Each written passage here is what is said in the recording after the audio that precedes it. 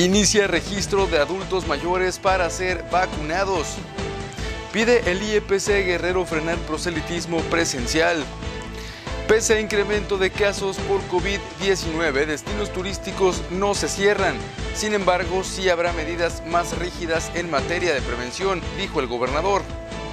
Enero, el mes más agresivo por COVID, confirma el alcalde de Iguala, Antonio Jaime Herrera. Se fortalece la unidad en el PRI. Este martes, el precandidato del Revolucionario Institucional a la gubernatura de Guerrero, Mario Moreno Arcos, se reunió con el dirigente nacional tricolor Alejandro Moreno Cárdenas y con el senador Manuel Añor Bebaños.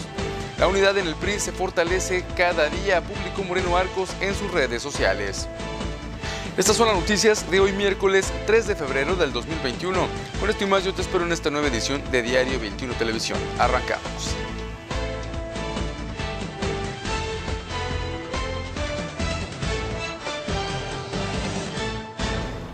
La página de Internet para el registro de los adultos mayores que recibirán la vacuna contra el COVID-19 arrancó el día de ayer. Sin embargo, también quedó suspendida temporalmente. Lo anterior luego de que durante el día el acceso fue complicado y para muchas personas de plano fue imposible. Este martes por la mañana, el gobierno de México informó sobre el mecanismo para la inscripción de las personas mayores de 60 años con quienes continuará el plan de vacunación contra COVID-19, una vez que se restablezca el envío del biológico desarrollado por el laboratorio Pfizer, lo cual está previsto para este 15 de febrero. De acuerdo con la información presentada la mañana del día de ayer, es probable que el país también empiece a recibir otras vacunas como la rusa Sputnik o la del laboratorio AstraZeneca. En cuanto a la página de internet mivacuna.salud.gov.mx, hace un rato los encargados colocaron el siguiente mensaje. Debido a la saturación de los registros, se han presentado interrupciones en el servicio. Estamos corrigiendo y aumentando la estructura para que no sucedan dichas interrupciones.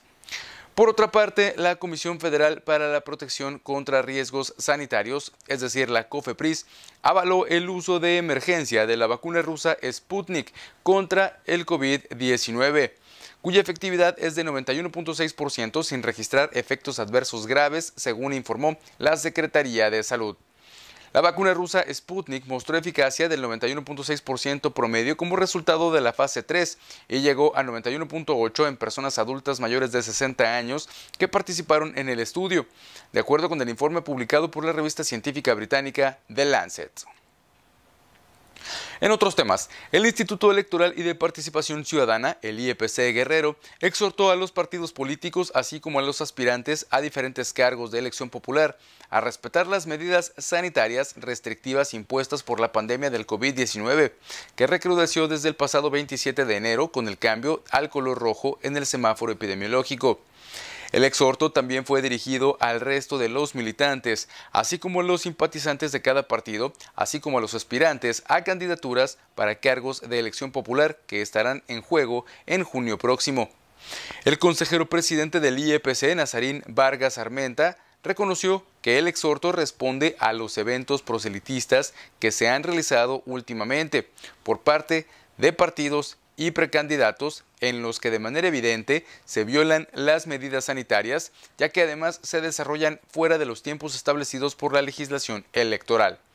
No solamente se están haciendo reuniones, actos y acciones que no están permitidas en este momento. También se están haciendo este tipo de reuniones sin tomar en cuenta las medidas sanitarias y se están generando condiciones para que el contagio prevalezca, que llevan primero a la enfermedad y en muchos casos de manera lamentable hasta la muerte. Así lo señaló. En otros temas, durante la transmisión 296 de seguimiento a la evolución del COVID-19 en la entidad, el gobernador Héctor Astudillo Flores consideró lo importante que es cuidar al turista que visita los destinos turísticos del estado de Guerrero, pero que también este cuide a los guerrerenses tomando con responsabilidad las medidas sanitarias vigentes, por lo que se llevan a cabo medidas más restrictivas. En este contexto, recordó que el rebrote de COVID-19 que se presentó en el país y en todo el mundo a inicios del presente año fue consecuencia de la movilidad registrada en el mes de diciembre y confió que como resultado del trabajo que se realiza al transitar al color rojo del semáforo de riesgo epidemiológico, en febrero se descienda la incidencia de contagios por este virus. En este sentido, el gobernador Héctor Astudillo Flores indicó que al momento no hay ninguna playa cerrada en el país, porque no se deben de tomar acciones que afecten a la actividad turística, más allá de lo que ya ha hecho el COVID-19. Pero sí, se tiene que ser más riguroso en que las personas que vayan y caminen en las playas usen el cubrebocas. También reconoció que la diócesis Chilpancingo-Chilapa se sume a estas tareas preventivas con la suspensión de todo evento religioso con motivo de la Semana Santa, recordando que en el estado de Guerrero están suspendidas las actividades religiosas y todas aquellas, incluyendo las políticas, que generen aglomeraciones. El Ejecutivo Estatal aplaudió la propuesta del secretario de Turismo del Gobierno Federal, Miguel Torruco Márquez, para declarar al turismo como actividad esencial, pues Guerrero es uno de los estados que vive de esta actividad, pero con sus medidas restrictivas en favor de la población. En este tema, Ernesto Rodríguez Escalona, secretario de Turismo en la entidad, señaló que el fin de semana largo del 5 de febrero del año pasado llegaron a los destinos turísticos de Guerrero más de 160 mil turistas y que el fin de semana pasado lo hicieron 45.666 visitantes, 71.6% menos en relación al 2020 y con una derrama económica de 405 millones, en tanto que en 2021 descendió a 109 millones de pesos. En otros temas, en Iguala hay 1.632 casos acumulados, 210 defunciones y 55 casos activos. Más de 200 personas han fallecido en la unidad COVID-19. Hubo 43 decesos solo en el mes de enero, lo que representa que fue el mes más agresivo en esta segunda oleada de la pandemia. Así lo informó el alcalde Igualteco en su conferencia nocturna, quien estuvo acompañado del secretario de Salud Municipal, Federico Ortiz Ibarra. En la unidad COVID hubo 14 consultas, un deceso, 3 ingresos y 22 pacientes hospitalizados. Por su parte, el secretario de Salud Municipal dijo que hubo 74 ingresos en un solo mes, es decir, hubo un movimiento inusual. El año pasado, el mes con más fallecimientos fue noviembre, seguido de julio y agosto con 10 en el mes de enero murieron cuatro veces más personas en promedio de lo que falleció en la primera ola en estos meses. Dijo que hay 22 pacientes hospitalizados, lo que habla del movimiento tan importante que todavía tiene la pandemia, no solo en Iguala, sino también en otros municipios como lo son Cocula, que ha enviado 8 pacientes, Tepecuacuilco 20 y Huitzuco 14 personas. Regresamos con más información después de esta nueva pausa comercial.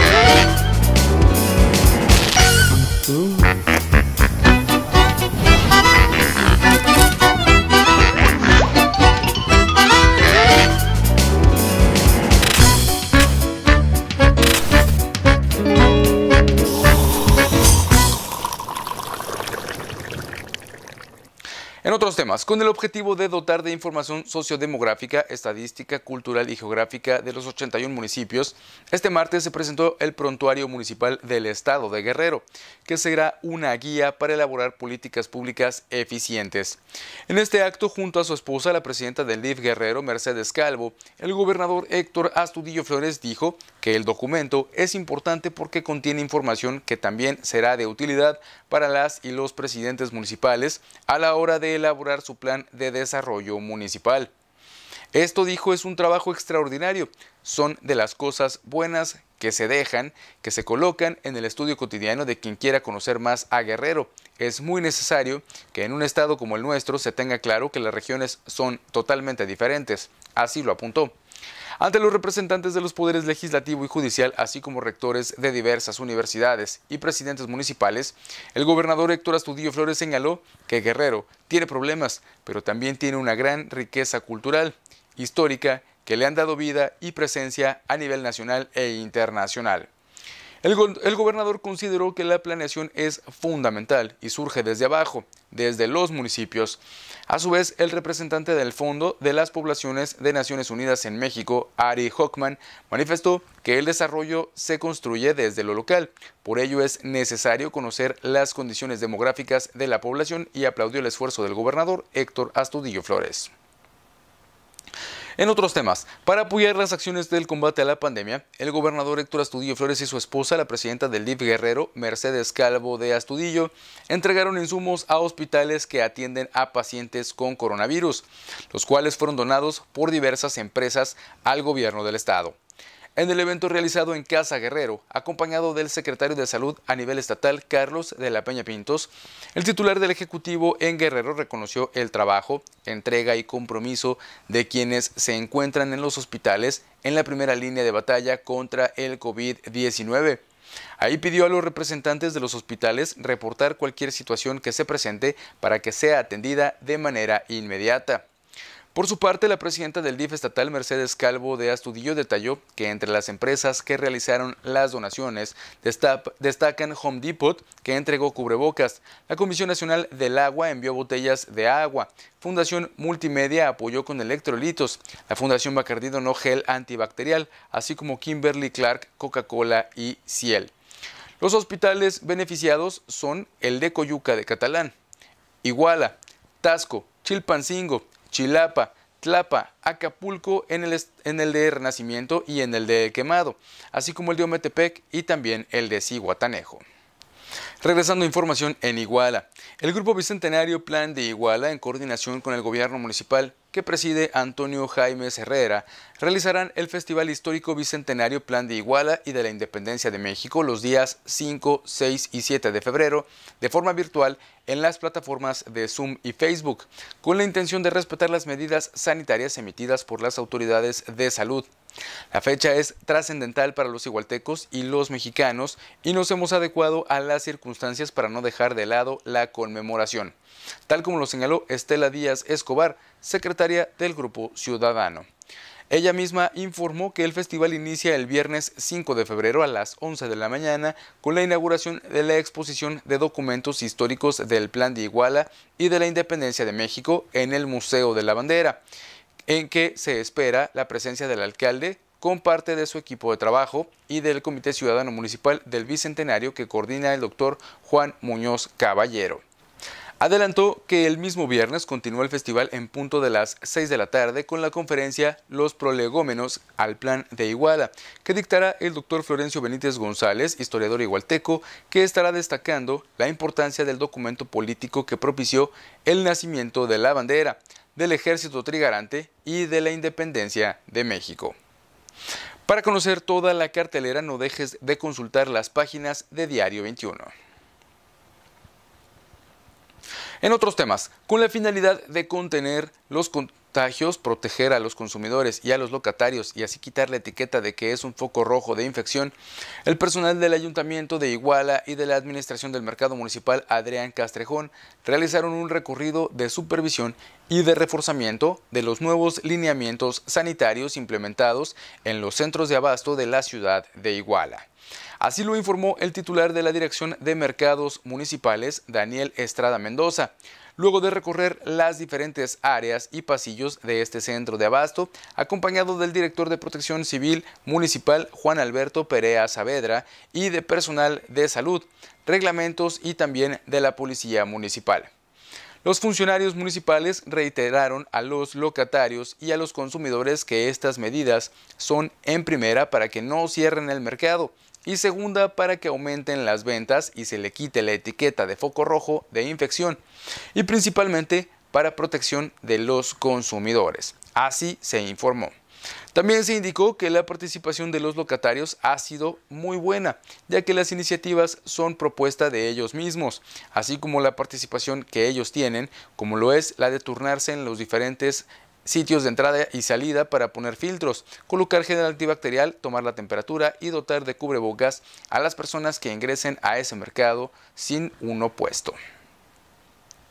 Regresamos con más información después de esta pausa comercial.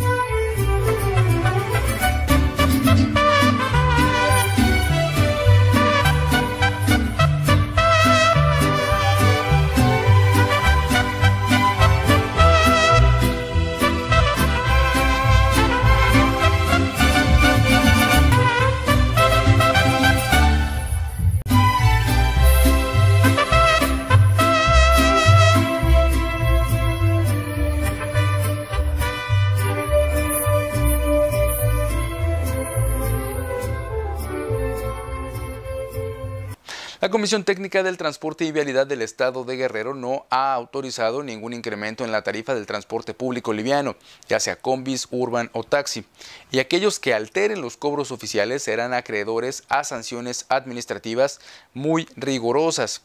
Así lo afirmó el encargado de la Delegación de Transportes, Naum Rebolledo Torres. Esto luego de que el fin de semana se corriera el rumor de que tanto combis como urbans incrementarían la tarifa de 8 a 10 pesos y los taxis un poco más, derivado del alza de insumos como la gasolina, refacciones y las llantas.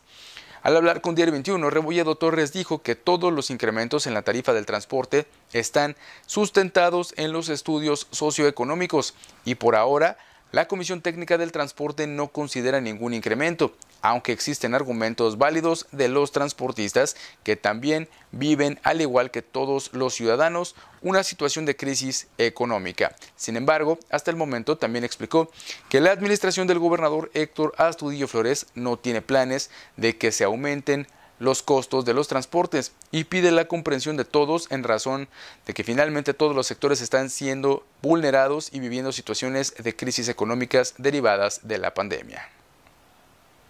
En otros temas, el ex senador de la República Luis Walton Aburto fue invitado a inaugurar un nuevo concepto de negocio de comida al aire libre, apropiado para los tiempos de pandemia.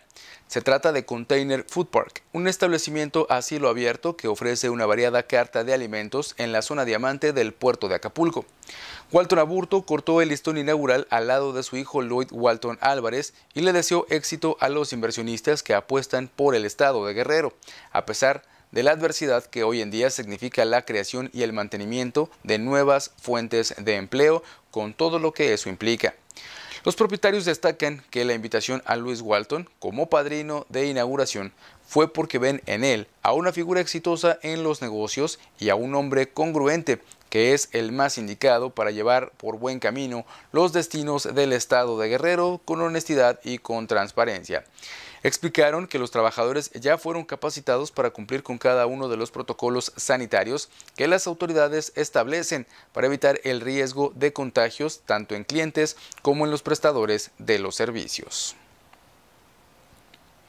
En otros asuntos, con la finalidad de mantener al transporte público libre de contagios ante la pandemia del COVID-19, autoridades municipales de Tepecoahuilco entregaron líquido sanitizante, cubrebocas, caretas y despensas gratuitas a la Organización de Transportistas Locales Encarnación Díaz y Tudo, donde se acordó que no se brindará el servicio a usuarios que simplemente no porten el cubrebocas. Y finalmente, el presidente municipal de Huitzuco de los Figueroa, José Luis Ávila López, suscribió un convenio con el laboratorio Genetics and Health para aplicar pruebas rápidas de COVID-19 que permita a las y los huichiquenses prevenir y tratar la enfermedad oportuna ante los incrementos de COVID-19 luego de que adecuaran el espacio que ocupa la biblioteca municipal como el sitio para que los interesados acudan a partir de este jueves 4 de febrero a que se les aplique la prueba rápida de COVID-19 a partir de las 10 de la mañana a un precio muy por debajo de lo que ofrecen los laboratorios tipo privado. Hasta aquí las noticias del día de hoy. Recuerda que estas y más las puedes encontrar perfectamente detalladas en tu versión impresa de Diario 21. Yo soy Jorge Albarrán, muchas gracias por tu preferencia una vez más. Recuerda, la pandemia no ha terminado. Usa tu cubrebocas, mantén la sana distancia y lávate las manos frecuentemente. Nos vemos el día de mañana. Hasta la próxima.